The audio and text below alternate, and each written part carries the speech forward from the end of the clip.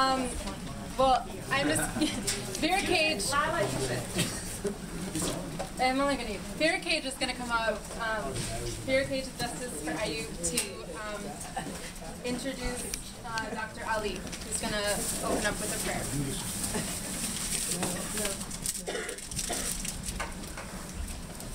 Sorry, we're um, going to change the batteries to the microphone. Gather um, for a prayer. Um, I'd like to bring up Dr. Ali. He's from Springfield. Um, you'll get a chance to hear more from Dr. Ali later on in the program. Um, uh, as I mentioned to Vera, uh, I always want to give a shout out first and foremost to any informants are here. Um, I, I, don't think we should put that past us. Like there are people here who are certainly subversive, who are trying to stop what we're doing, and uh, we should recognize them, even though we may not be able to recognize them physically. Uh, to really, really um, do what you can to support the artists here, to support, support Food for Thought. Um, one of the uh, last bastions of of uh, democracy and activism through intellectuality that exists in Western Massachusetts. So certainly support Food for Thought. Um, I want to start, of course, um, with Mumia Abu-Jamal's words um, from Death Blossoms. A write-up for writing. On June 3rd, 1995, one day after being served with a death warrant, I was served with a write-up a misconduct report for engaging engaging actively in a business or profession, that is, as a journalist.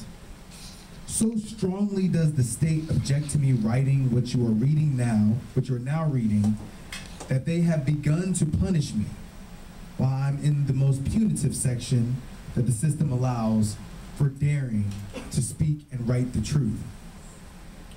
The institutional offense my book, Live from Death Row. It paints an uncomplimentary picture of a prison system that calls itself correction, but does little more than corrupt human souls. A system that eats hundreds of millions of dollars a year to torture, maim, and mutilate tens of thousands of men and women. A system that teaches bitterness and hones hatred. Clearly, what the government wants is not just death, but silence. A correct inmate is a silent one. One who speaks right and exposes horror for what it is, is given a misconduct. Is that a correct system? A system of corrections?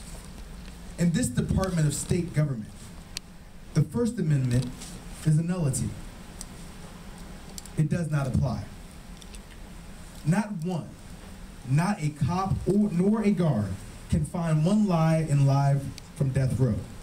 Indeed, it is precisely because it's truth that it is a target of the state and its minions, a truth they do not want you to see. And I'll skip ahead. As you read this, know that I am being punished by the government for writing live from death row and for writing these very words. Indeed, I've been punished by the United States government for my writing since I was 15 years of age. But I've kept on writing. You keep right on reading. Indeed, conscious that they were engaging in criminal acts. Just through writing, just through exposing themselves through culture, exposing themselves through the pen. I was talking to um, one of my students the other day who didn't perform so well on a quiz, and I was telling him uh, that I know this is tough, but keep in mind that people have died just to be in the position you're in. And what I mean by that is not just to be at a university. People have been punished simply for writing, simply for learning to write, simply for learning to speak, to forge revolution, through the very act of writing as criminals. So I certainly want to pay homage and pay respect to the artists and the writers here today. It really does, at least from my position, start with culture and how culture really infiltrates the mind and allows us to be in this space today, food for thought, being able to open up a space today when really no one else would have, I think, the gumption to engage in this type of fight. So, with that being said, I want to bring up our first artist. All right, and I believe, correct me if I'm wrong, it is Olivia. All right, please give her a round of applause. Can all of you hear me? Yes. Okay. Um, first, thank you so much um, for having me. Um, it's truly an honor to be here with all of you conscious folks. Um, for those of you who don't know me, um, I am the chair uh, this year of Mount Holyoke chapter of the Students Against Mass Incarceration Group.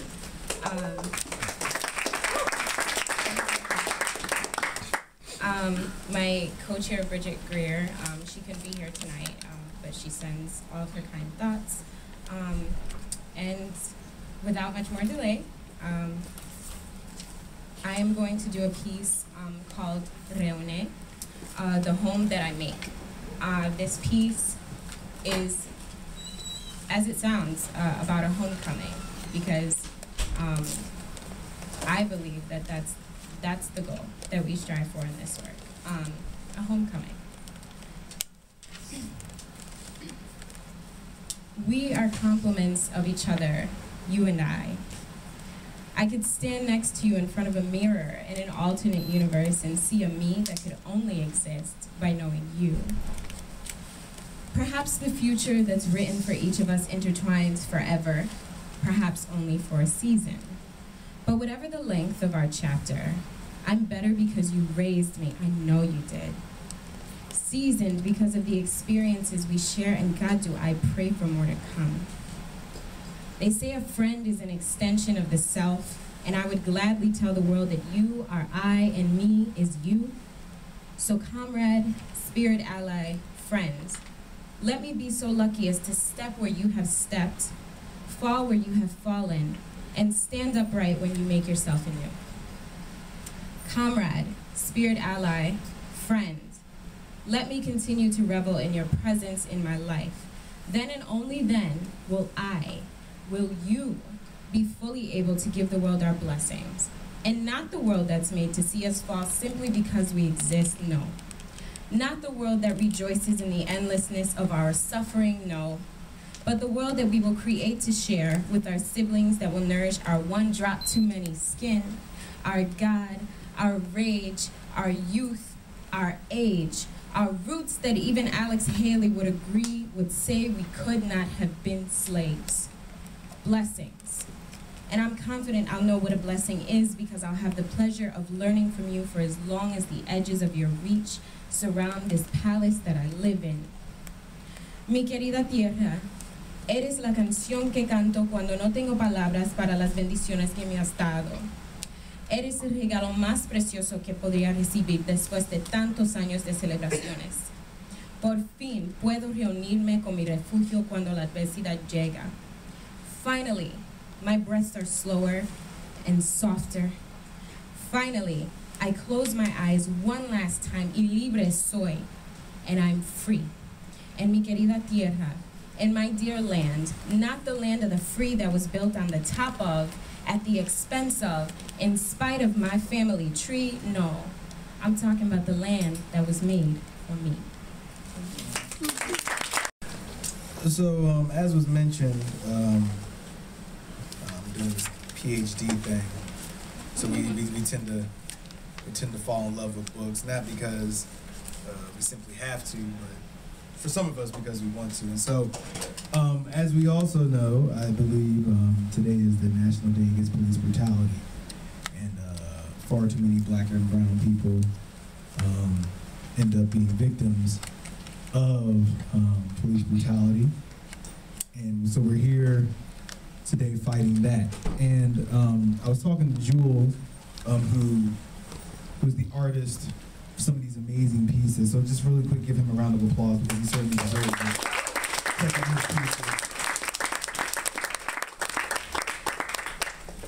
was talking to him about um, what I was going to say today in uh, this piece by James Baldwin. I believe he wrote it in uh, either 1960 or 1963, uh, Fifth Avenue, Uptown, in which he's talking about the police.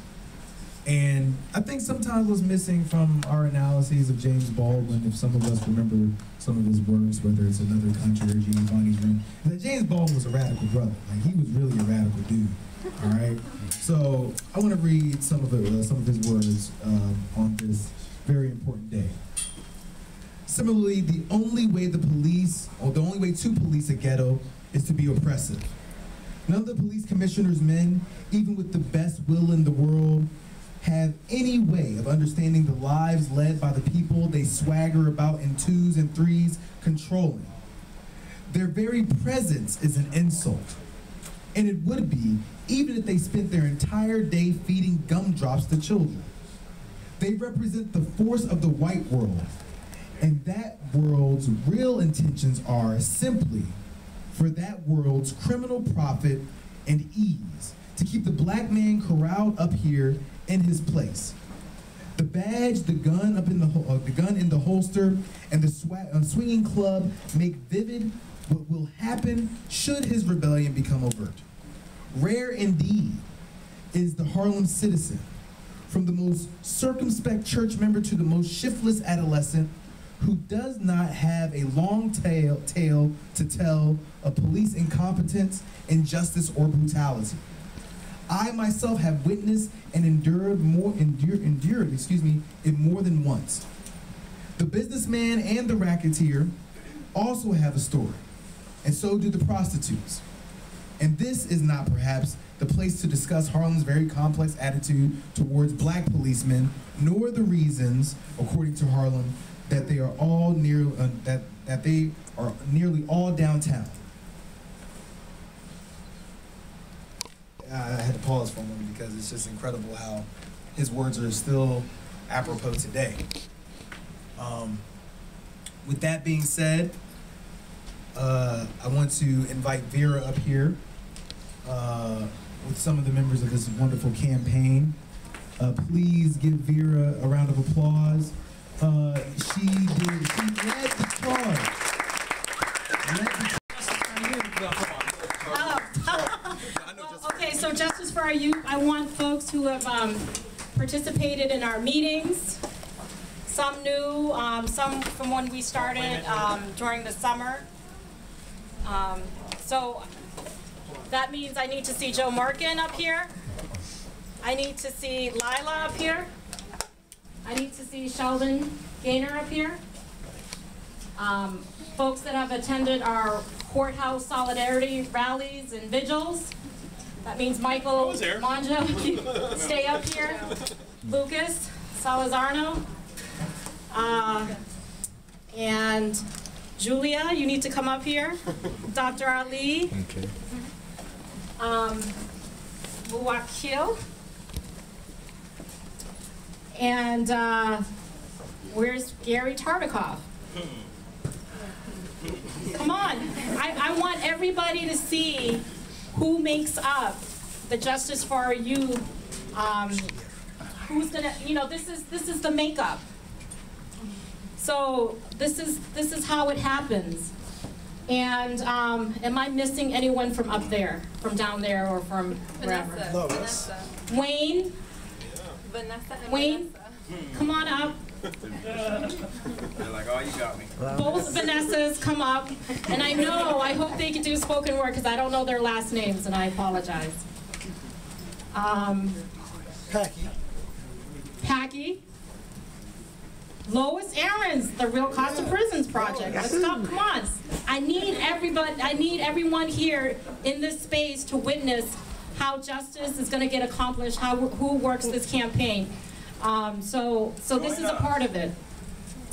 And now, what's even more fantastic, before there was a Justice for Ayyub, there was a Justice for Charles.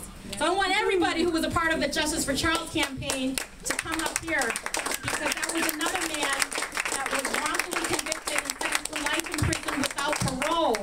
Just turned 30 this summer, but we were able to campaign for him after his uh, sentence and, and guilty verdict, and, and the second jury got it right this year on January 17, 2013. Charles Wilhite was able to walk home with his family at 49. Uh, Hampden County Courthouse in Springfield. So I want Olivia to come back up here. I want Joe Morgan's partner to come up here because we all need our family, our friends to support the work that we do, the grinding committee work. Um, I see many of you out there, so I, I just want to applaud, applaud everyone here that's standing up here. And also, uh, before there was a justice for, and Iman, yes, he's been in our living room. Um, and before there was a, a justice for Charles, there was a justice for Jason. So many folks up here were involved in the Justice for Jason campaign who, um, a, a student that, uh, Ben. Come on. Come on, Ben, come on. Um, a student that was uh, racially, I mean, it- it- prosecutions are, are racist, and uh, so this is another African-American man, Jason Vassell, who was uh, charged wrongfully, and, and because of the great work of students, um, professors who had the courage to speak up and stand out in, in vigils and rallies um, and protests, um, Jason Vassell has his, his freedom and he's able to, to be at home and, and live his life. So I just wanted to that. But, um, Ayyub Abdul Alim is, is 35 years old. I, I, you know, I want to um, reserve this space for the, the true artist here. Um, but he's 35 years old. He's, he's just, I'm 39, you know, he grew up in Amherst, so it made sense for us to get involved because he, he grew up with the, uh, the son of our current Amherst chapter NAACP president. You know, we, we just revived the chapter this year. Um, so it just made sense. He knew so many people in common um, with us, and, and also in Springfield. He knew a lot of people in Springfield as well. Um, he operated Nature's Garden, which is a, a incense shop right down at the Carriage Shops over here. Went to school at the middle school, the high school here. So he's a local person. Um, his mom is Puerto Rican. His dad is African American, um, African American, who, who has been um, deceased for a while now. But you know, he just basically he he operated this Nature's Garden also in Springfield, and next to it he operated the Sunai Sunai, Sunai um, it's like a community center and uh, he was basically targeted and you'll hear more about you know from dr ali about how this is done in the community how the fbi sort of um, just destroys people's lives even though they're not doing anything they're just conducting their lives their lives like you and i so i'm just going to cut it short right now and give it back to iman but we have a facebook page that everyone should um, find it's called justice for ayyub and you'll hear later on from ayyub is, was that a big secret? no, he's no. So 8:30, he's gonna call in, so you'll actually hear from him. Um, also, uh, what else is happening? So Facebook page, Justice for Ayyub. Please like our page. You'll you'll read his written statement there as well, and you'll hear and you'll get updates about the court solidarity that we would like for you to participate in. Um, basically, this is a case out of Springfield, so it'll be in Hampden County, so that's 50 State Street right there in downtown Springfield. But anyway, just link us, link to us, sign up. Um, Lila, and I also want to thank Lila. She's an amazing organizer for this event. So, okay. Um, so thank you, everyone. And, Am I giving it back to you, or am I? Or just pass it around. Pass it around. Okay. Here we go. Okay. Here, let me get a pen. It's the, um, our listserv and. and Yeah, if you want to get connected that way, please sign up your email and your name. Um, for now, Iman, do you want the mic or? not just in the Springfield area, but all around the world.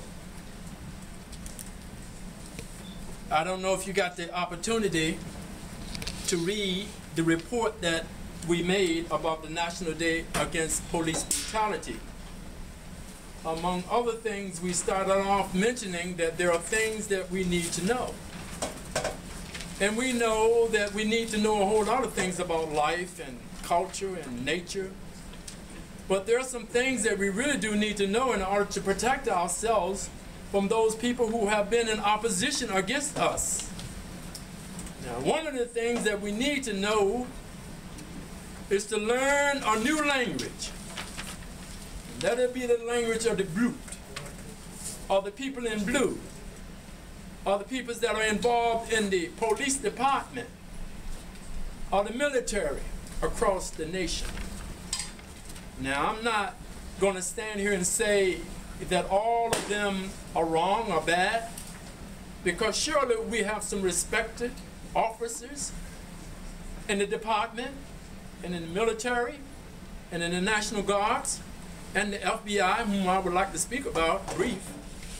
But there are so many who are have no mind of, of, of compassion. Sometimes they seem to have the mentality to kill people.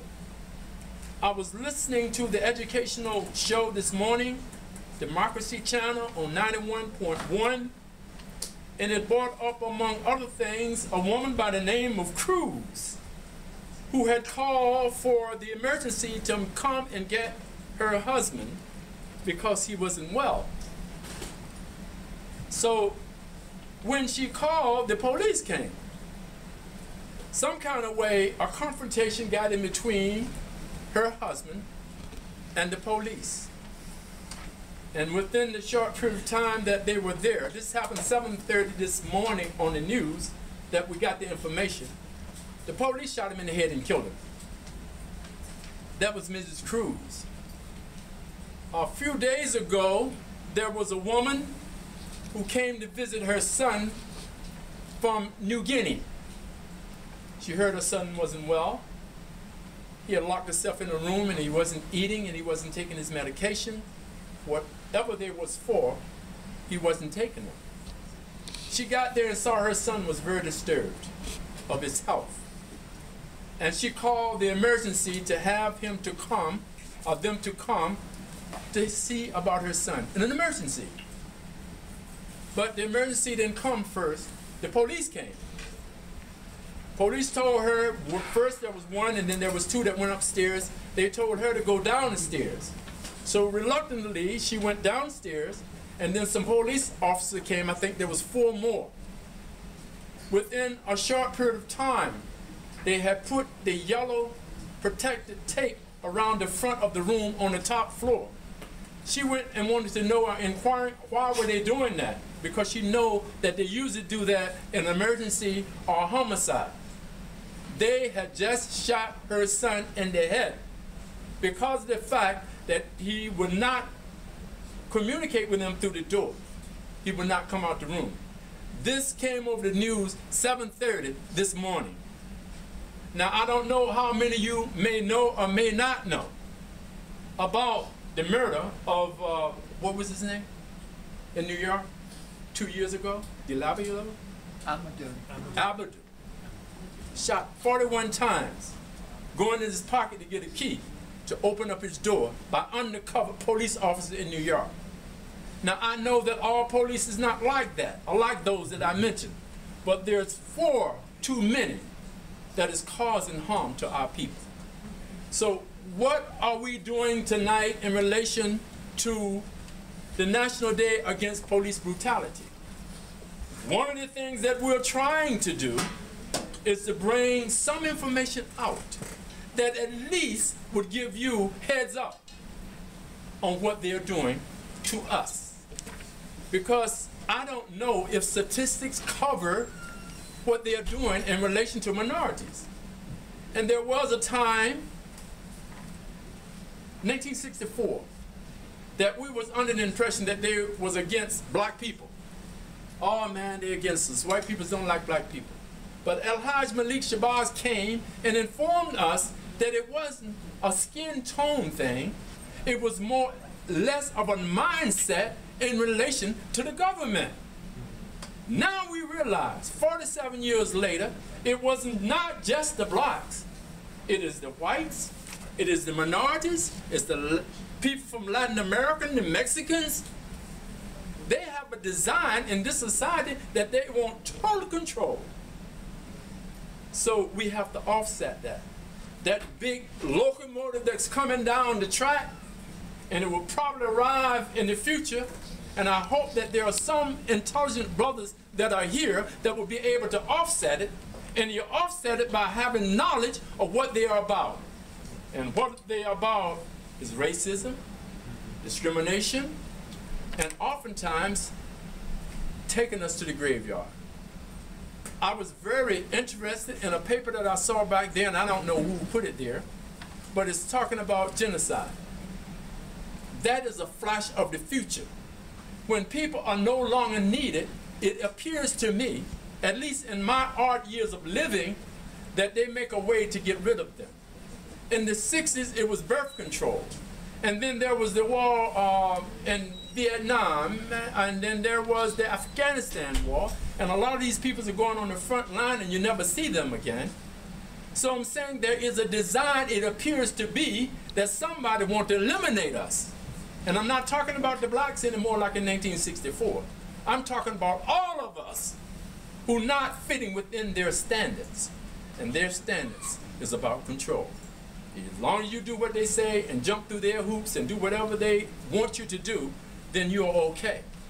But if you start questioning things, because I think one of the most dangerous things in America today is not as it was before, a black man with a gun with hatred in his heart. No, no, no. It is a black man who have equipped himself with knowledge about this society. He is very, very dangerous. Why? Because he learned to read and write. He learned to think for himself. He is not now, you know, along or going along with the with, with, with, what the government is telling us about there are certain people who don't like us. I remember in the First World War, turn of the 19th century, they was telling us that the Chinese people was against us. There was the people that was walking around with hatchets that would take our life at night, and that whole scare tactics to keep us divided and conquered, so we couldn't come together in harmony and peace. It is the same method that is being used today. But I did not come here to just badger the police department because some of them are my best friend. I go to some of their houses and we sit. In fact, I'm, I've been involved in education. In one of the schools that I was at teaching, there was a police officer there involved with helping the kids and all of that, and him and I became close friends. He liked westerns, so don't I. So there's a group of friends that come by his house, and we watch movies together occasionally. I'm talking about the top brass, the lieutenants, and the, you know, the brass, the ones in the higher up. But there is a different manner about them and socialization within that group than there are when we are confronted with them in the street. When we see the police in the street, we see the man with the mask. We see the man, pull over that car. Let me see your driver's license. Let me see your registration. Stone face as if he was out to do harm towards us. But like I said, in a social gathering, they're not so much that way. So maybe there is hope. Maybe behind that cold mask of exterior, there is a human heart that beat, and, and sometime in the future, maybe they will understand what they're doing to us. Don't seem to be that way tonight. Tonight, all you have to do is be in a certain part of the community you might be wearing black clothes because there was a time, and I just want to give you a little peek of my life. One of the first time that I ever got arrested, because I've been arrested more than one time, it was because of the fact that was I was out on the street after 8 o'clock at night. It was called abroad in the night. If you didn't have a special place to go, if you didn't have a job on the streets, then you could be locked up for being on the street after the sun go down. And I know that that might sound chaotic to you, just as much as it might sound chaotic to you that when I came north in 1959, I had to go to the colored section in the Greyhound bus station in order to get a ticket. It might seem strange to you in 1959 that I had to eat on the side of the station where they were serving food because I couldn't go in the front to get to be served. That was only a short time ago. So I'm saying that these are some of the conditions that we come through and that we've been through. So Ayyub and I, and that's what I really want to get to, and that's what I came here for, is the fact that he's a brother that's in our community. We came out tonight for the fundraiser for him. His name is, is Ayyub Abdul Alim. He's a brother, he's a friend, he's a, he's a member of our community. And he's a pillar of our community. He's been helping us in many ways. He helped establish the prison program where people could go and see their loved ones in the institutions. He also helped to start a food program for those people who without food could eat. He also uh, made arrangements for to have a place that when we wanted to come to pray, a musalla, we could walk off the street and pray at any hour of the day or night. So he was doing a lot of things in the community. And there were some people who did not like the prestige and the power that he was developing on the corner where his business was. And it was I, myself, that told Ayyub, I said, the FBI have came into our place of worship on Friday. And I said, I don't know why they're here, and I don't know who invited them here. But would you please take a picture of them so we'll know that they're here, and the next time we'll be able to be aware of the fact that they're coming here. And I don't know if that was the beginning of them dealing with Ayyub, but I know that Menonakis out of Springfield area, who was loaned from the police department to the task force of the FBI, has been one of the people individually that has been hounding Ayyub since that time. And it did not stop until they put him in the lockup. He's waiting to go to trial on the 15th of November. And we will find out the result of what they will do with him, and we're praying and hoping that everything will turn out favorably. But the lawyer said that he could be facing 15 years in prison behind a handgun or something they alleged that was on him. So anyway, uh, I just want to conclude with that. And uh, have a good evening, and I'm so very glad that I was able to share that information with you. Would you say the man's name? He lived 501, or grew up 501 Wilbraham Road. He was loaned from the police department during the time of 9-11 and became a part of the FBI task force who is working with the FBI on loan from the police department presently. We can keep the movement moving, folks. Uh, we. Uh, we have Julia, uh, Ayyub's friend, who will say a few words. Then what we're gonna um, hope for, um, I believe it will be executed. Um, Ayyub will give give us a call and we'll be able to hear his voice, um, which is always something important to have. So Julia, please give a round of applause.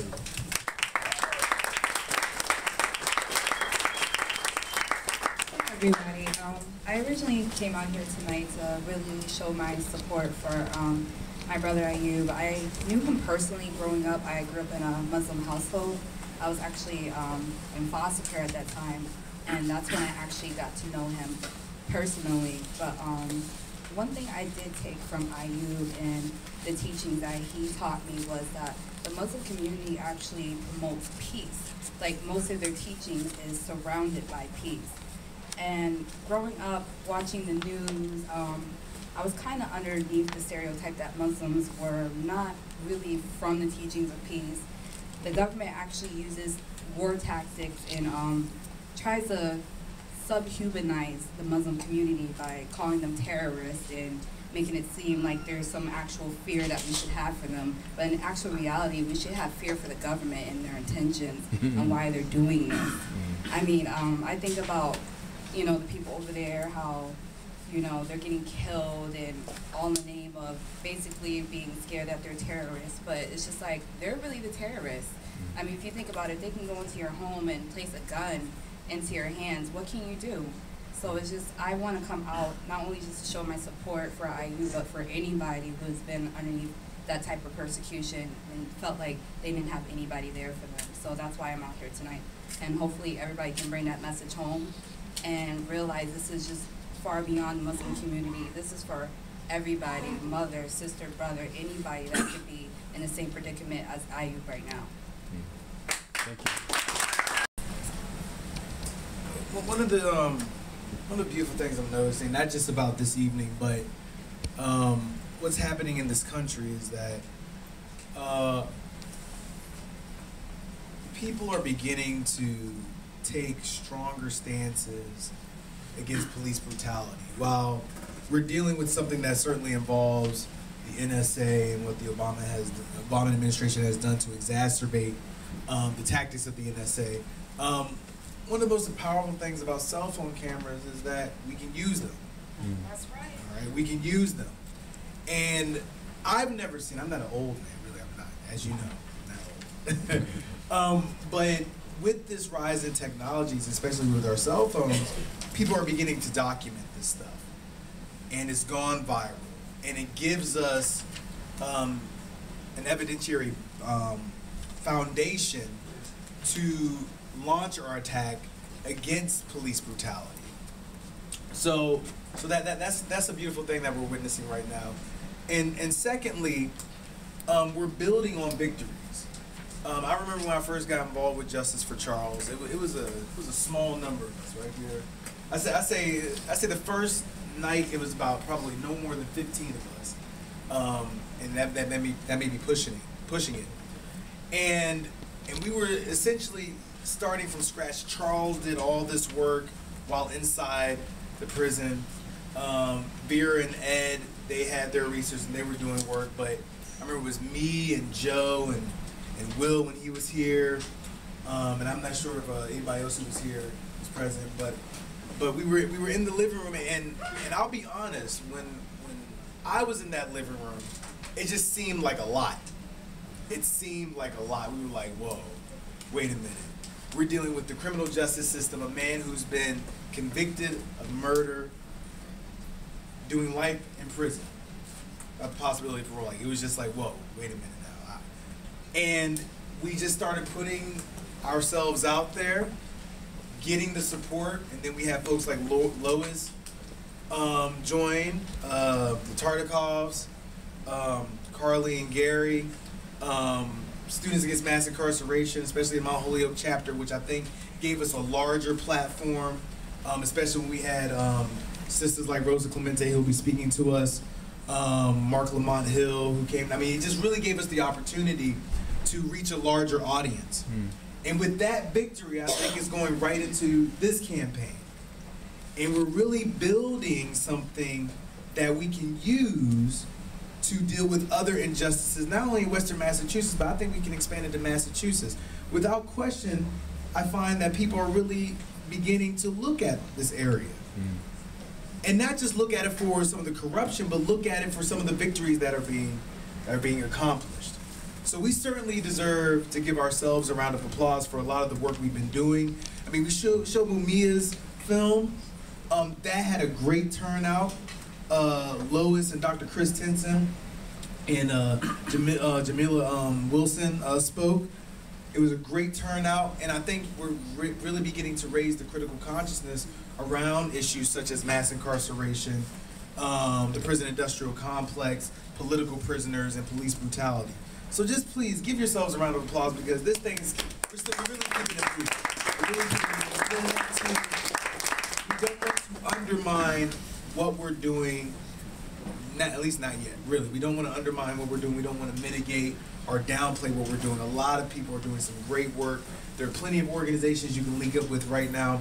Um, we're waiting for Brother Ayyub to call. Um, so what I'm going to do right now, because I don't like being loquacious, is uh, is call anyone up who has any word, who have who may have words, who may want to just offer their thoughts on this day, whether it's for Brother Ayyub, whether it's for um, just raising awareness around police brutality, the prison industrial complex, any work. Maybe we could pass them out so that people could get them. Um, What's happening right now, uh, the Massachusetts Department of Corrections is about to start a new policy where um, if you're a visitor, not in a jail, but in a- a prison, um, you, there will be dogs, um, not in the waiting room, but like in the security trap where you get searched, like between the, the waiting room, security trap, visiting room, right? So in that place where you're being searched is where um, there'll be dogs w- with the guards. And supposedly they're searching for drugs. And this is a new policy. It hasn't started yet. And there is, I- have initiated a campaign around the state um, to try to stop this. And um, in the last few weeks, there's been a lot of progress. Um, There are now a couple of uh, law firms that are going to sue the DOC, Department of Corrections, once they begin. Um, There are big organizations like the ACLU signing on to the campaign. So things are moving forward. Um, And I don't know if it's possible for to, us to stop it, but it's definitely possible to slow them down. Once we have a suit, there'll be a temporary injunction. They'll have to stop it. They'll have to hold a hearing, the Department of Corrections, on why they're doing this.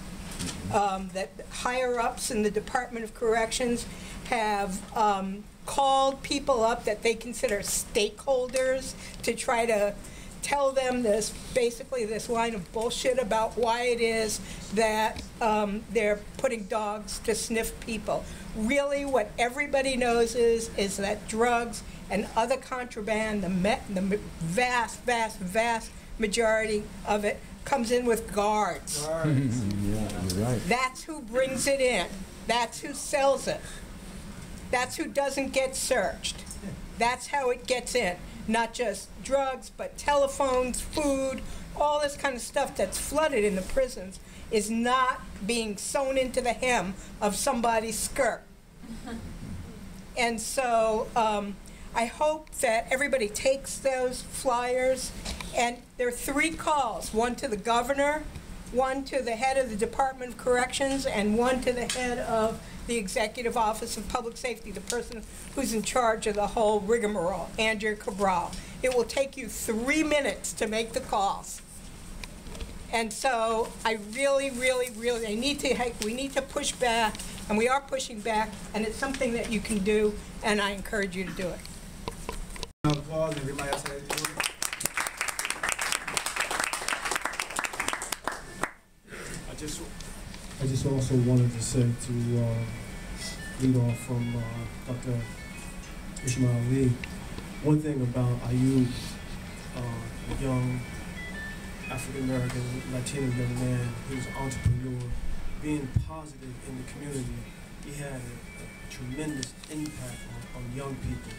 He was very positive, always uplifting, and, and never, never negative um, these charges that are trumped up against him, imagine your synagogue, your church, your fraternity, your campus, your uh, social organizations, your Facebook page, your Twitter account is spied on. And what was so heinous and so evil about this situation with Ayyub was that he was pressured into spying on the Muslim community in West Springfield and in the city of Springfield and all of western Massachusetts. And he consistently refused. And that is so uh, diabolic and mean spirit and really un-American.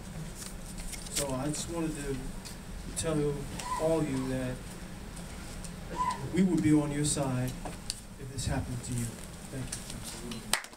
Lorenzo Gaines, and I actually was locked up with Ayyub in uh, Hampden County House of Correction, and I helped him draft a two-page letter, really laying out the details of his case.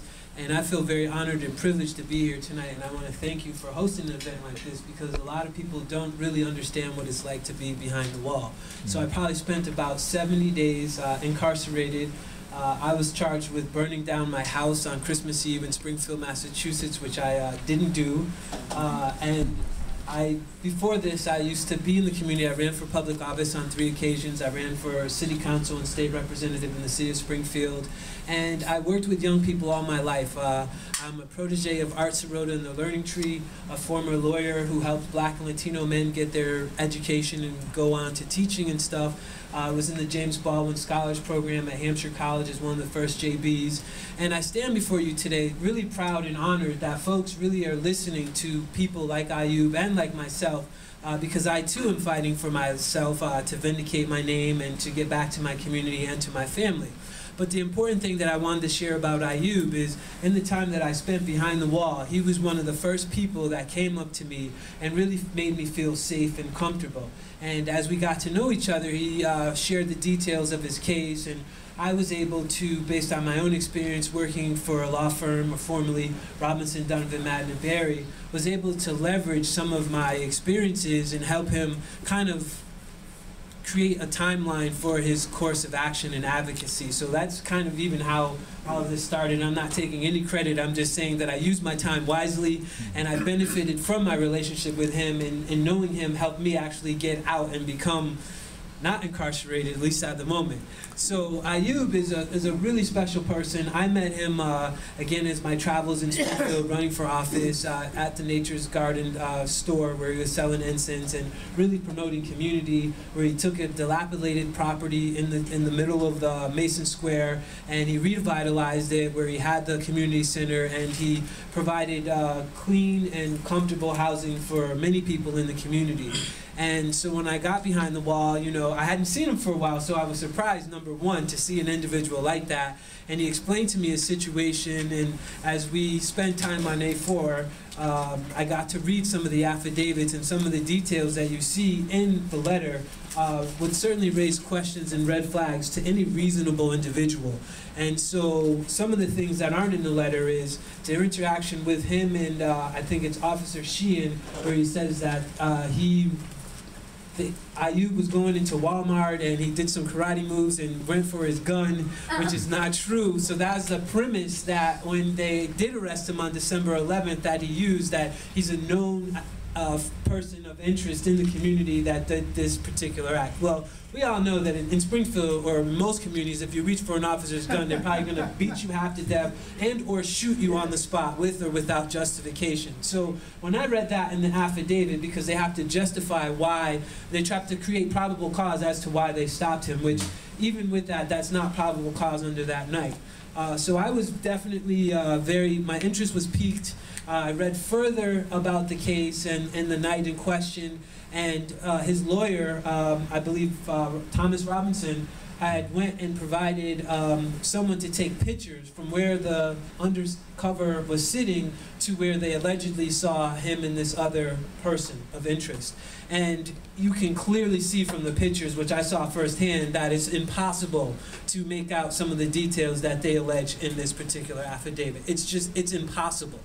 Um, there were other things that um, he shared with me that, you know, really um, again made me become an advocate for him and certainly a supporter.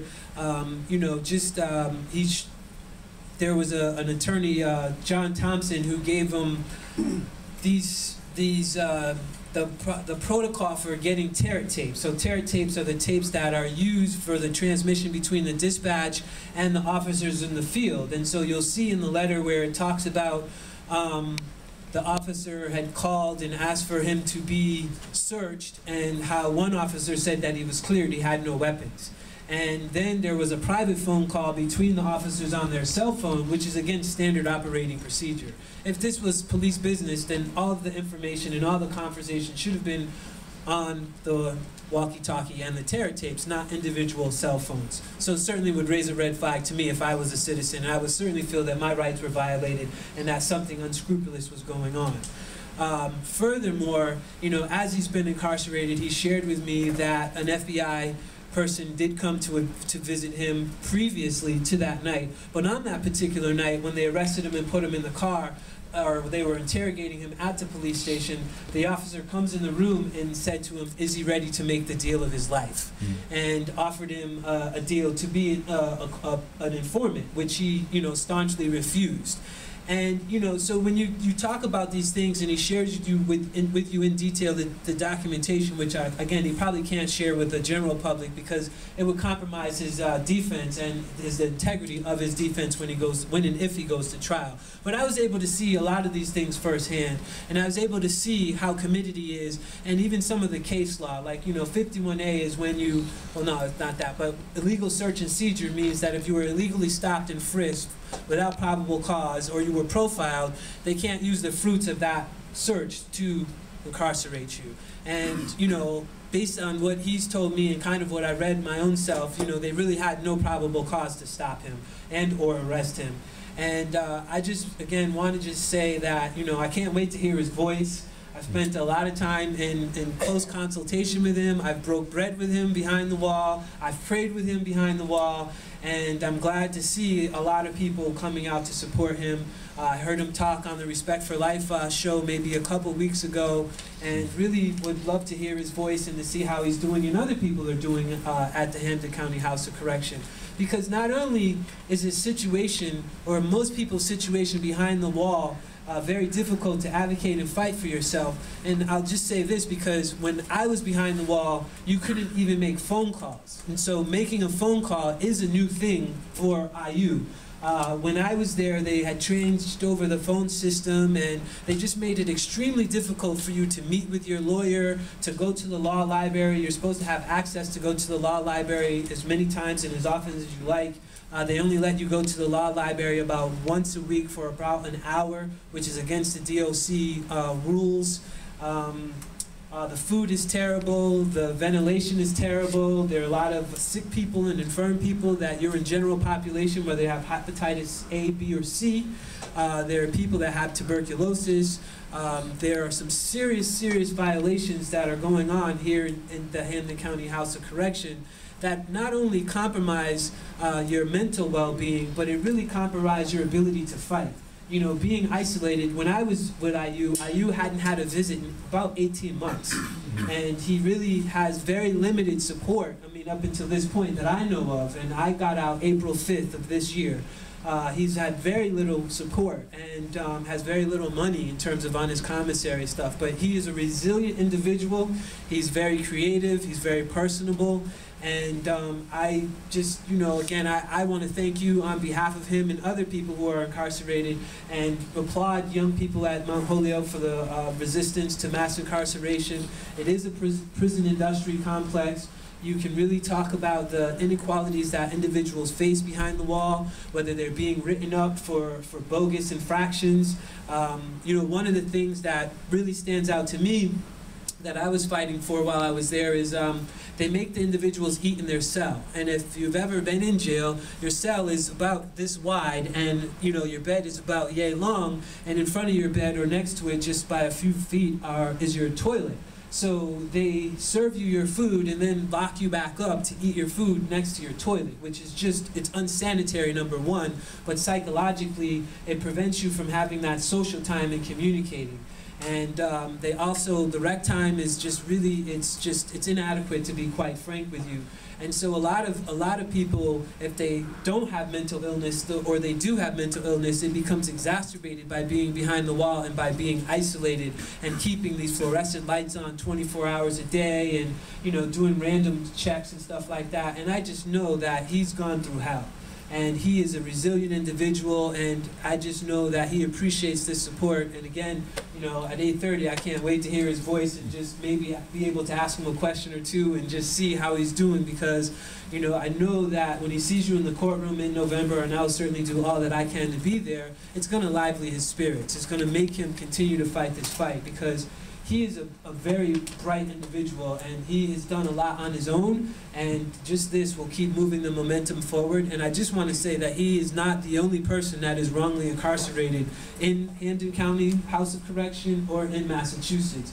And people really need to be bringing attention to um, the officers and the investigators that do these faulty investigations that wrongfully incarcerate people and just put their lives in a tailspin. You know, if you do know Ayyub, uh, he had a store, he had a house, he had a family, he was a positive member in the community, and he's really lost all of that, to be quite frank with you. And I've had these conversations with him, and um, you know, he's distraught. But you know, one thing to his credit is he's a very strong individual, and this support will go a long way. So. I just wanted to share that with you. Again, I know firsthand uh, how, how wonderful he is and how welcoming and inviting he was to me and how knowledgeable is he is, he is and has become over the law. So uh, again, you know, keep up the fight and free Ayyub. For Ayyub Dakan, thank you for that. I really appreciate it. That was very important words. Um, I'm waiting for Ayyub. I'm going to bring up um, a very close person to me uh, Sister Rosa Clemente. If some of y'all don't know who she is, you need to go on the internet, check her out. But of course, one of the biggest things that stands out in her long resume, um, 2008 vice presidential candidate for the Green Party, along with Cynthia McKinney, the only, the only presidential ticket featuring two women of color in the history of this country. So she, she does so much.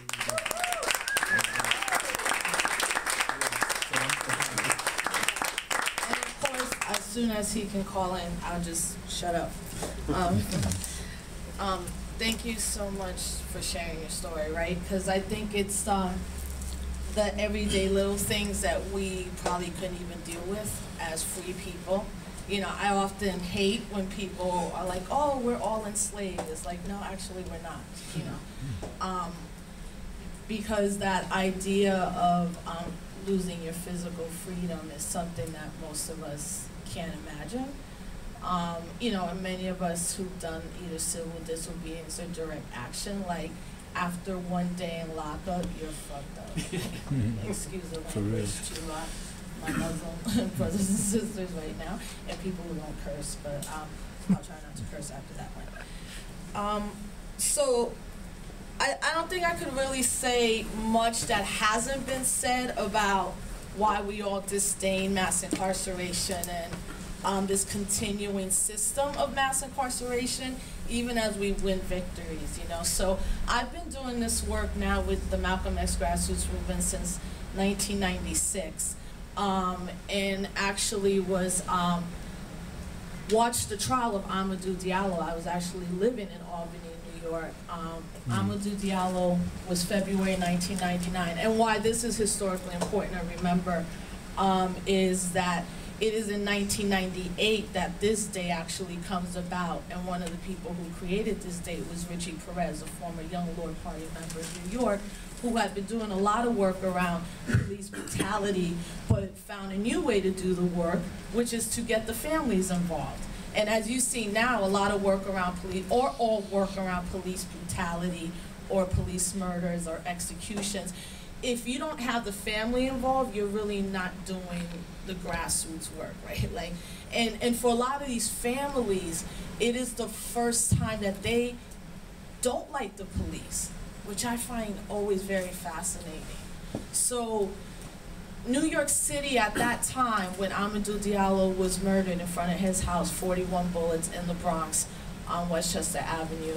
Um, the year before, there had been a, a young man by the name of um, Anthony Baez that had been murdered by the New York Police Department.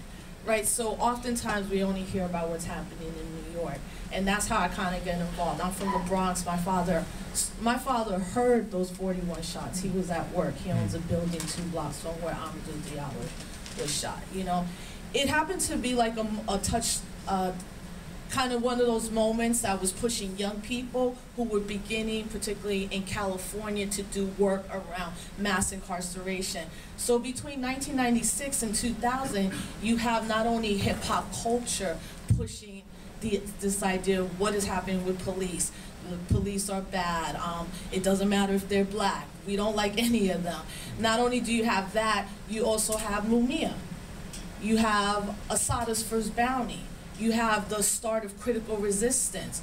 You have a new wave of young people understanding the plight of political prisoners and prisoners of war that have been incarcerated since the 60s and 70s, but kind of have been forgotten about for 15 or 20 years by what we could consider the masses of our community, right? So this is a very exciting time. And then 911 happened, right? And you quickly saw not only the clamp down on activism, right, but what was beginning to happen to Muslim brothers and sisters, especially living in New York, and the terror they were facing. And I remember that um, one night, 27 offices in New York City were broken into, like Malcolm X Grassroots Movement, um, um, Coalition for Asian Americans, Police Against Brutality, like all the, you know, all it, like all computers were stolen and all this. And one of the elders, Lynne Stewart, who was free at the time, told us, get ready for another 20 years of COINTELPRO. And she's like, and it's not going to be the COINTELPRO of assassinations. is going to be what she, I, she didn't use the word microaggression, but what she said is it's going to be little things that start to build and build to the point where we won't have really any clear idea of who is doing kind of surveillance work in our communities again, right? Um, and this is where we're at now, 10 years later. Like an entire decade of not only mass surveillance, but militarized police, right?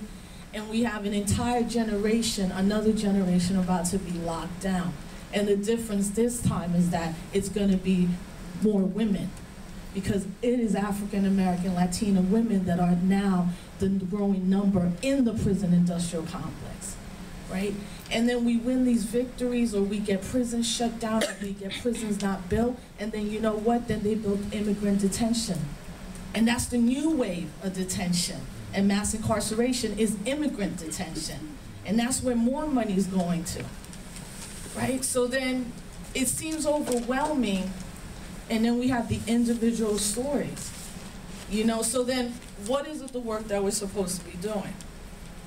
I think what has happened in the last four years, or let's say six years of having a black president, particularly has put a crimp in mm-hmm. how we move and the things we say and the truth we speak and the new innovative ideas that we need.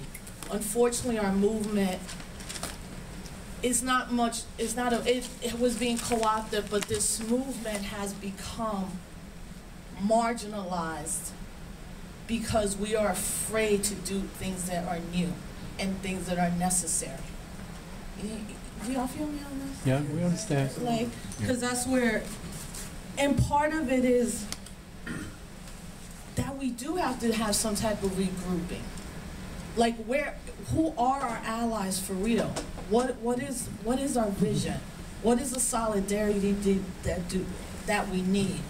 Why is it that we don't talk about white supremacy every single time we're talking about this system? You know, what, why is that? Why is it that we're afraid of having even this discourse that is uncomfortable when it is brothers and sisters having to eat food next to the toilet every day? That shit's uncomfortable. Mm. So our discourses should be more uncomfortable, right?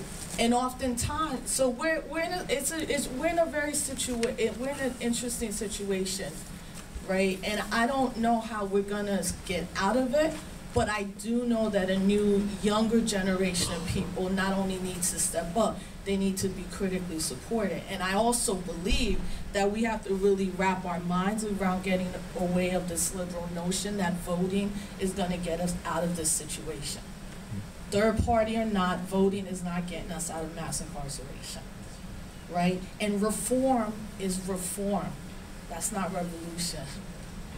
And a lot of the victories that we're seeing that people are claiming are important, but they're also reformist moves.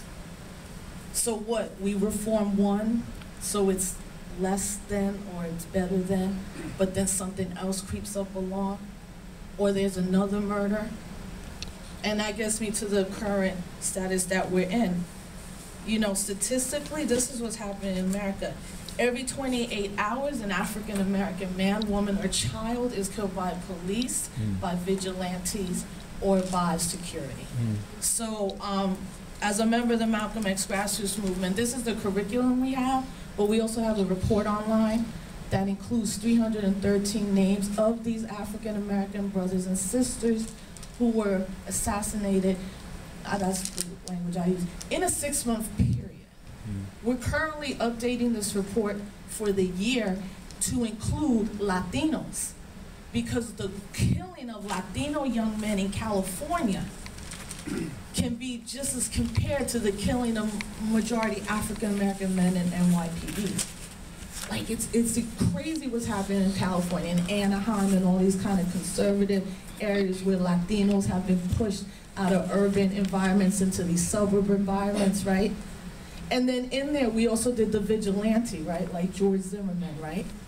And then that gets us to another interesting thing that we should be really thinking about when we do this work in terms of how we talk about race. But it's interesting that what we have now, or not interesting, I think that's what it's meant to be, that I say we're at this fourth phase of white supremacy, the refinement phase, which no longer needs a white face to put the system forward. Mm. Okay, so you have Barack Obama, and then there'll be Hillary Clinton in 2016, who will be known as a feminist, but she's the most anti-feminist, warmongering woman that could probably ever be president. You know, and this idea, this refinement stage, it's going to be people that look like us, folks of color, that are putting the system of white supremacy forward. Maybe not with power or the violence that's needed, but at least with the ideology, the idea, and the look. Right? It's, it's, it's so. This is why young people, in a way, are very confused about what's going on. This is why people don't know how to discourse about this. People don't understand. You know, that is people that look like me that could potentially be pushing policies that kill people who look like me. Right? And that's that's a that's a very confusing thing, particularly to young people of color in the movement, and many young people of color who support or supported President Obama. Like if he really wanted to do something, he would just put a federal executive order on like right now anybody who's been mass incarcerated because of d- drugs not is out. Hmm. Right? Like don't tell me that you're gonna look into what's happening. We know what's been happening. We've lost two generations, about to go on a third. Right? And we understand that right now, who's bearing the brunt of all this kind of counterintelligence, the real militarized violence is not only our brothers and sisters who are being droned, but Muslim communities in, you know, Arab American, in this country right now, they're the ones that are suffering the most brunt of the surveillance. We don't know it yet. I mean, we know it. But when the history's written and the files come out and the reports and people start talking, we're gonna be ashamed that we didn't step up to stop what's going on in Muslim and Arab American communities all around this country. You know, so it, it, it's just so many things to deal with, but with all that being said, I'm always hopeful. you, can't, you cannot not do this work and be hopeful because you do have victories. You know, we do have victories. This is why they keep throwing things at us. Every time we have a win, they gotta block it. That's the, that's the war situation we're in right now. The more we win, the more they oppress. The more we push, the more they push back. You know, but I always believe in the power of the people. And if Herman Wallace could smile after getting out and knowing he was gonna die in two days, if Lynne Stewart could write a card on her birthday to us telling us, keep moving. If Mumia could be writing books, if brothers and sisters can come out and still have a life after an experience of being incarcerated, you know, my husband was formerly incarcerated and he says, one day is one day too many. Hmm. It's not always about how much time you spend, it's the fact that you spent time and someone took away your freedom. Not only took away your freedom, tried to take away your dignity, your humanity, right? And what Lois says is so important. You know, this is why I don't, I, I'm straight up, I don't like cops, security, I don't like none of them. And the reason why is because most of us in this room have made a choice to do jobs that might not pay us a lot. Most of us in this room are doing jobs that are about teaching, working in the community environment, justice, food justice, um, birthing, doulas, all, all artists, right? If we can make those choices, I don't want to hear about good jobs for cops. I don't want to hear that that's the only choice I had. Now, if you live in a community where that might be the only choice you have, like going there or going to the army, yes. But I'm not trying to hear that from people like us who have privilege to even be in a room tonight to have a conversation like this. Right? We've made choices, you can make choices. That's why I don't trust none of them. Hmm. Because there's people right now behind the walls, 40, Oscar Lopez, 30 years in solitary confinement. For what? For fighting for freedom and not even using a gun, using his words? Leonard Peltier. And I talk about, these are political prisoners, right? I'm talking about the millions of other people that are incarcerated. These particular people, because I often find their stories like, how do you do what you do after you've been locked up 42 years? Like, how is it like, what kind of resilience or strength does that take? You know? So, I'm just gonna just read you part of this and um, I'm, s- I really hope that Brother Ayyub will be able to call in. But look, I'm very clear that the state probably knows that he was Yeah, supposed yes. to call in. Yeah. And we're like, well, too bad for y'all, right? And um, he's very clear right now, as he's not been able to make his phone call of what has happened. So definitely in November, as many people need to show up, because that support is always so critical, and that's what happens. And it happens a lot to sisters behind the walls. I've been to both types of prisons, and what you notice is when you walk in a prison, a women's correctional facility, there's nobody there visiting the women. Men, line, you know, you gotta wait hours. It's usually pretty packed. But it's also, right, people know that people get lost in that system if they don't have support. And that's when the state or the CEOs could do whatever they want to those people. And there's a lot of those across the board. So there was a young brother by the name of Kimani Gray that was shot. So again, being from New York, this is like all the time Every day. every day. Yeah, sh- I mean, the big, Amadou Diallo, Sean Bell, Patrick Dorismond, um, Ramarley Graham, Kimani Gray, like, I've been to so many of rallies, like, this, when is this gonna stop? What is the response that, that, that is needed? And what I realized in being part of the Malcolm X grassroots movement when we wrote this report is that it's every 28 hours, almost every day. And remember, these are stories that we could find. What about the stories we can't find? And right now, as um, me and Iman are in our doctoral studies in the Du Bois Department up at UMass, one thing I'm learning, um, we're both uh, TAing for Professor Ernie Allen, his um, African American Civil Rights class, and this, you know, lynchings and these things that were happening. But the rural stories of black people, you know, how many people were killed and we will never know. We will just never know those numbers. So I, I told Kali Akuno, who really is, I think, one of the best kind of minds and leaders around this movement around police brutality, mass incarceration. I was like, this is like probably every 14 hours. Wait till we get some more numbers and some and and what does that say for a people who can't protect their young? You know, um, a lot of these were young brothers and sisters, although there's people that are 72 years old have been here as well. This- They don't care, you know, and that's one thing we're learning a lot in this class, that, uh, as Dr. Allen said, unless you were, had only one leg in a wheelchair and were like 95 years old, you were a threat. So um, this story you can find on ebony.com. I just wanted to read you what I think it means to at least begin to uh, assert leadership outside of the leadership that's thrust upon us. I tell young people, always be worried about somebody who says that's your leader. Mm-hmm. if you study at 60, like, why are you my leader? Who made you? Like, why do you have a TV show? I don't know. There's a reason. I don't think it is to free black people. Why do you keep getting award? You know, I was I tell young people, and I, I like the way young people organize around decentralized leadership. Now, you always have to have leadership in the organization, but it could be more shared. But the idea of one particularly male leader that speaks for all of us is, is, is so problematic, especially when young people want to rise up and then they're told this is not the time. So it's like, when is the time? When they get shot? Like when every somebody's getting shot every hour? Like when is the time for young people to do what they got to do? You know, and I often tell young people, do what you have to do.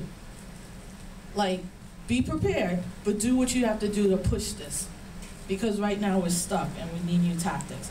So um, I'll just read this part. Last year, the Malcolm X grassroots movement released every 36 hours a report that documented the extrajudicial killing of the United States in the first six months of 2012. When the next version is released, Kimani Gray's name will be added to the list of people killed for seemingly no reason but being black in the wrong place at the wrong time. Hmm. Flatbush, Brooklyn is a predominantly Caribbean community, and it is no stranger to police harassment and. As I lived there for five years, the tactics I learned in the Malcolm X grassroots movement, particularly Cop Watch, which utilizes video recording, to videotape the police as well as inform the community as we're videotaping the police. This neighborhood reflected on the loss of another promising young person. His principal said we believed in his potential from day one. He traveled for over an hour each day from East Flatbush to Midtown West in Manhattan. The year and a half we had Kimani allowed us to know his best self. Day after day, our political leaders remind us of human rights violations happening all across the world. Yet they often fail to recognize and stand up against the violations happening in their own backyards. In communities of color, young men and women feel under siege. Kimani's murder and the resistance displayed by these young people those four days that the media called race riots, while many of us call rebellions, young, must be taken as a continual call to action. We must not condemn young people. We must ask ourselves as older people, why have we allowed this to happen? Why have we not protected our young people? Where have we failed in organizing a long-term movement that does not base its goals on legislative reform or poli elected political leaders? Omowale Adewale, a father and community organizer from Brooklyn, has a radical solution. The only negotiation I want conducted on my behalf with the police is withdraw of their paramilitary troops from my community, which includes community affairs, helicopters, police horses, barricades, and your stations. He says, likening the need for police to turn over control of our communities to that of the supposed U.S. military's efforts in withdrawing from Iraq. His words echo the sentiment running through Flatbush in this traumatic movement but his words also echo a transnational sentiment. Wherever young people of color are, wherever they are, whether they're in Palestine or New Zealand or Spain or Greece or Flatbush, Brooklyn, or on a BART train going home on New Year's Eve, their bodies are always subjected to white supremacist violence. The truth is that the police murder black and Latino people because they know they can. They know that they will be believed and supported by their superiors, that their right to menace our communities will be defended tooth and nail. When young people realize this, can we be surprised by their choice to rebel? As you can see from these pictures, the youth in Brooklyn have hit the streets to let the police know just how they feel. You might not like it, but you won't turn away from it.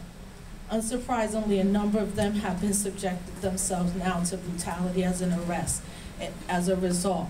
And instead of arresting the three officers that murdered Kimani Gray, seven of his family members have been detained for so-called rioting. In the wake of Kimani's killing, Vicente uh, Alba Panama, longtime community organizer and Young Lords Party member, stated, Murder and violence by law enforcement is a nationwide international epidemic with historical roots in the genocide of the indigenous, the enslavement of Africans, and the exploitation of poor and working folk. The only way to end this is to make revolution. How many Kimanis must there be before we actually make that happen? Mm. So um, it's a lengthier article, but I just wanted to put that out there as a hope. That's what we, we gotta keep fighting and we keep pushing. And you know, so I'm always grateful to be like within uh, community as we are not academics that stay in the ivory tower or hmm. ebony tower or beige tower. um, and I'm always grateful to be here at Food for Thought. So um, again, we know why brother probably didn't get through. Um, so try to support him. Um, try to support political prisoners and prisoners of war by writing them. You'd be surprised they all write back and they're going to tell you exactly what you need to be doing. And it's always great to get a letter from behind the wall for a brother and sister who literally mostly on solitary confinement at this point or are sick and dying, like Lynne Stewart is our next one. She's made it clear. She's pretty close to where Herman was. You know, and, and if we could get Lynne out to spend a week but you know, again, to see Herman release with that smile on his face, but to know it was it reminded me of when Troy Davis, when we were all here and we all went home that night, right? And then it was like 11:30, and they executed him basically behind our backs, and so many people felt so devastated, you know. And then his sister keeps fighting till her death, and that's what freedom is, right? It's lifelong struggle It's not a trend, it's not a fashion show, it's not a rap song, it's not a book, it's not what you can theoretically spit out, it's how you live your everyday life. So thank you for having me and, and justice for Ayyub and all our brothers and sisters behind the walls.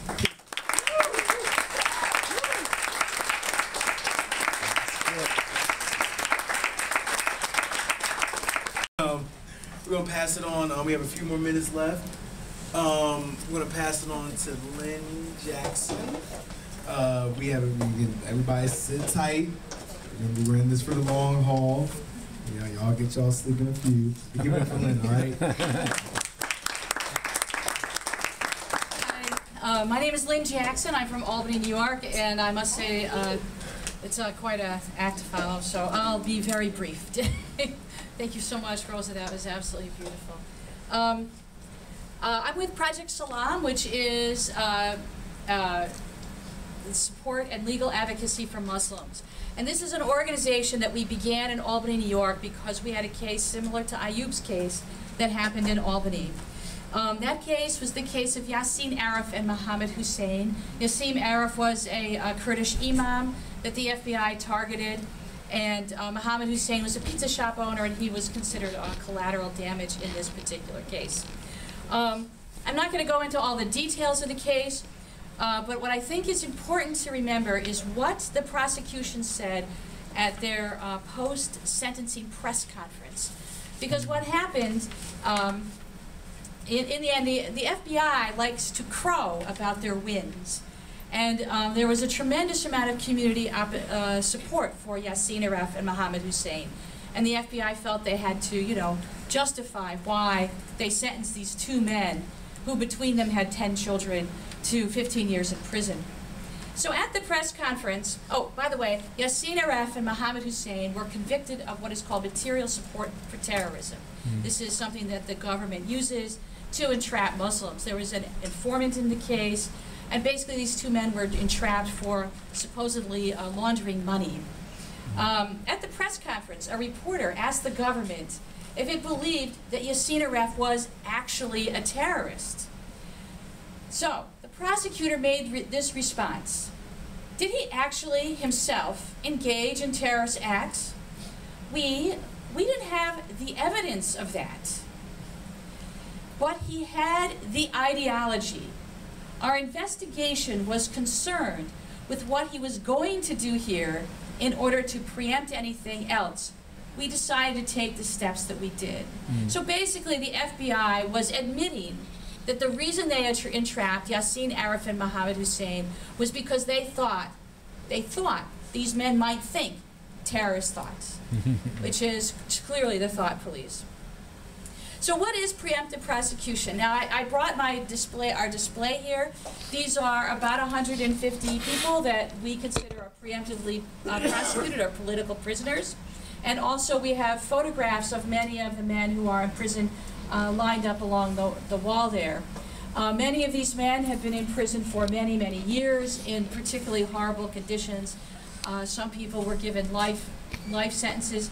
Lynne Stewart, of course, is up there because she is one of the, um, she's really in prison now because she, sent out, she vigorously defended her Muslim client. Um, so what the FBI does, just to be very brief, is that uh, they, they use a couple of different methods to entrap Muslims. But uh, Muslims are clearly one of the targeted groups. Are of course, uh, we've heard the history of targeted groups this evening, uh, but the FBI is particularly um, targeting Muslims at this point. Um, they use uh, informants to send informants into communities, and they um, use what is called material support laws. So, like for example, there were some women in the Midwest who um, gave used clothes and a few thousand dollars uh, to people in Somalia, and um, they were given these incredible prison sentences of many decades because that was considered material support for terrorism. And this is the kind of thing that's going on. In Ayyub's case, I know very little about his case. I'm very happy to hear more about his case this evening, but it appears that the FBI wanted him to be an informant, and this is, of course, what the FBI will do uh, to uh, Muslim men, is try to talk them into being informants. Um, so uh, what we have done at Project Salam is we thought in Albany that Yassin Aref and Mohammed Hossain's case was just an anomaly, that all we'd have to do is explain to the government that, that they were wrong about this case and that we, you know, would convince them and Yassin would be freed and Mohammed would be re- re- freed. But then, um, that of course was not the case, they lost their appeals. Um, and we began to meet the families of other people who were imprisoned, and that's why we came up with this wall. And we also online have a database of about 800 men in prison. Oh, and by the way, the Muslims in this country that are targeted in this way are often sent to special Muslim prisons called the Communications Management Units. Has anyone heard of those? Communications Management Units? And those are special Muslim prisons in, uh, there's one in Terre Haute, Indiana, there's one in Marion, Illinois. They're particularly restrictive. Yassin was sent to the one in Terre Haute, and he also spent time in the one in Marion. They are a thousand miles from home. Uh, the family couldn't come and visit him. He had very, uh, he wasn't really allowed to call people. It's a very, very restrictive prison. The other prison that they often send Muslims to is the ADX Colorado in Florence, Colorado, and that is a 23-hour day lockdown, solitary confinement prison. So, um, what I just wanted to end with, uh, you can find out more about Project Salam if you go to www.projectsalam.org. And we're also affiliated with the National Coalition to Protect Civil Freedoms, which is a national coalition of groups that are looking at the issue of targeting of Muslims. And I'd like to uh, point out my friend and colleague Sharmeen Siddiqui, who is here with her camera, and um, she works with the National Coalition and came from Boston today to be with us. Um, so uh, it is late, and I, I don't want to take up too much more time. If you want to know more about Project Salam, please um, ask me. The one thing that I'm really happy about is that um, this is a really long fight. This this is a really uh, long fight, and I'm so happy that there are so many people here who care about Ayyub. And I hope that I'm hoping very much because of all the people and all the support here that he will be he will prevail in his in his case. It's pretty hard. Uh, Muslim cases are pretty hard. The, a lot of the men are sentenced for very long periods of time, but I have great hopes because there's so much community support for Ayyub here.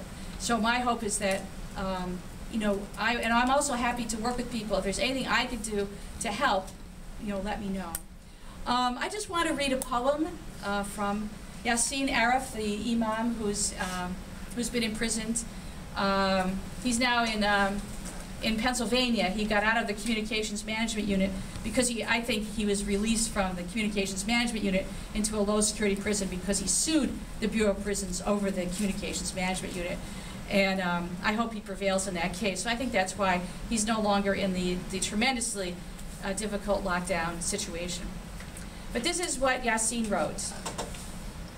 Soul, as they say, when someone dies, you must open a window to allow his soul to get out and fly back to the sky.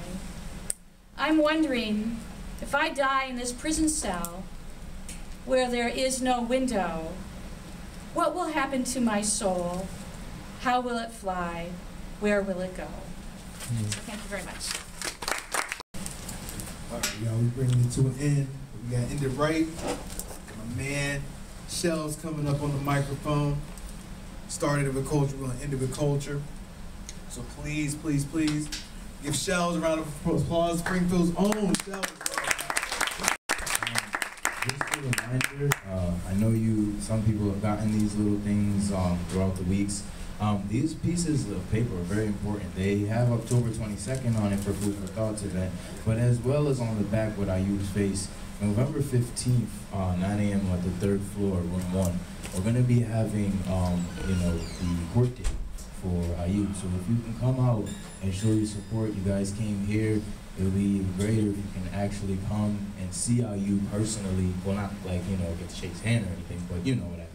Um, yeah, and that's pretty much it. Um, uh, I worked with Justice for Charles with Vera Cage, and we put out a CD called Mass Incarceration LP, and we touched on many things that happened in Massachusetts between the three strikes, um, the um, Justice for Charles, um, police brutality with Melvin Jones III, as well as the prison to uh, the school to prison pipeline, the prison industrial complex, and that became very successful. And um, um, being with the uh Justice for Ayyub um, um, campaign, um, I'm gonna you know put out another um, LP, and it's going to be uh, called um, Al Ahzab, which is the allies. It's um, a surah from the Quran, and um, Al Ahzab, which means the allies for Ayyub. So Al Ahzab Ayyub, and what's really significant, Ayyub's name in itself in in Muslim culture it translates to Job.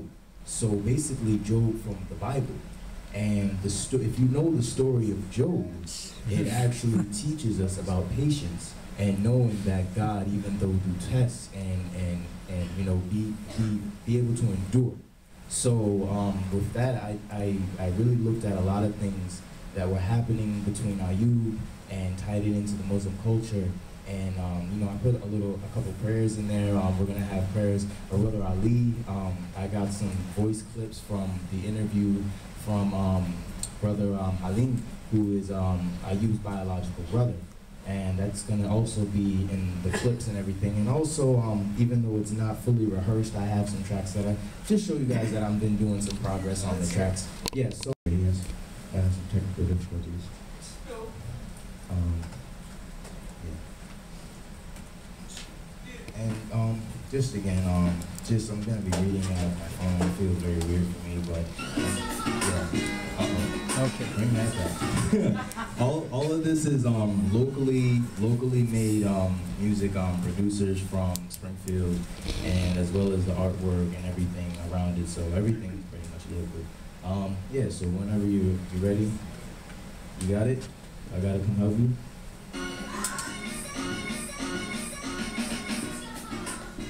Yeah, there we go. Can, can you turn up just a little bit?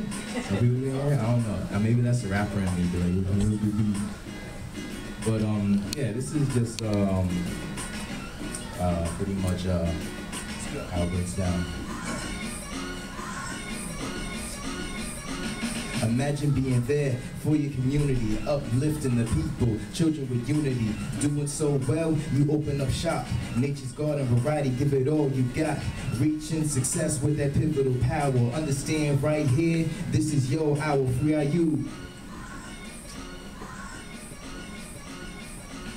Becoming well known and you're Muslim, they ain't all bad. The people are wondering, soon the FBI gets a whiff of his name, so they call him up and ask to take part of the game. Spy on my people, this is insane. Hung up the phone and went back to his family, man. Free are you.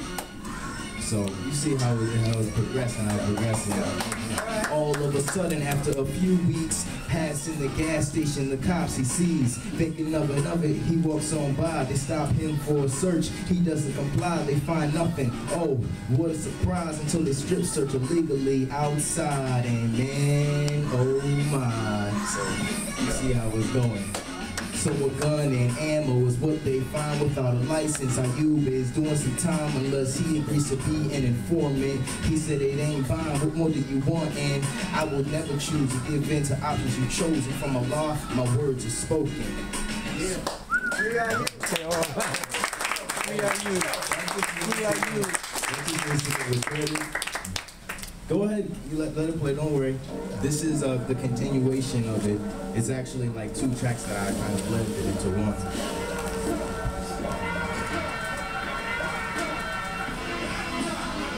So um, this one is called My Time. It all blends together, innocent slash my time. And this is more, I tried to understand where he came from.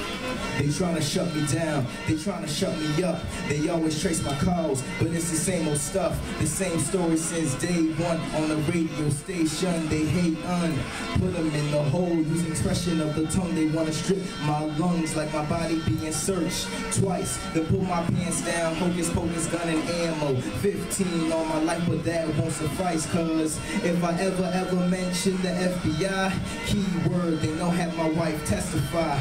Or she deportation cause I said no to spying on my own nation. No justification just us there'll be just us. Instead it's just ice for my wife and the case on my life. But I know between wrong and right and tweet my surprise and pray five times a day. As long as the God don't get in the way hopefully God will always be in the way. Shed the light tonight and I'll be okay. During my time I got the city on my back like the rappers always claim. I Ayyub on the map, it's time to bring change. It's my time, my time, my time. Hopefully, it all rewinds. So we were just about done. Uh, if anybody wants to have anything to say before we close, you may certainly do that. Other than that, let's give a round of applause to the organizers first. This event, organizers, supporters, the activists, the freedom fighters for justice for Ayyub. Give them a round of applause. Give a round of applause to uh, Food for Thought uh, for opening this space for us. Give them a round of applause. And let's keep building, keep fighting the good fight. Y'all have a good night, everyone.